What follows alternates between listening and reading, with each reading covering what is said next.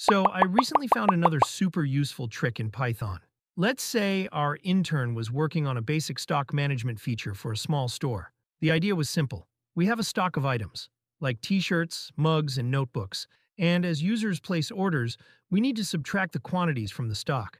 So here we have a stock list that contains the items, and an order list that contains the items that the customer ordered. Now the intern's job was to remove the ordered items from the stock count. He started with the usual approach using counter from the collections module. So first, he used counter to count how many of each item we have in stock.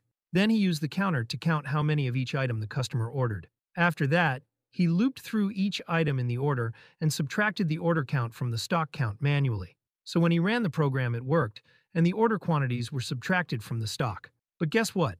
Python has a better way to achieve this result. We can directly use the subtract method of the counter class. We will use the subtract method on the stock counter, and inside the subtract, we will pass the order counter as the argument. And that's it. No loop, no manual calculation, just one line. The subtract method takes the order counts and subtracts them from the stock automatically. So now, as we again run the program, you can see we get the same result as expected. And yeah, it also handles things smartly. If a user tries to order more than what's in stock, it'll still subtract, but the count may go negative which is super useful to flag over ordering too.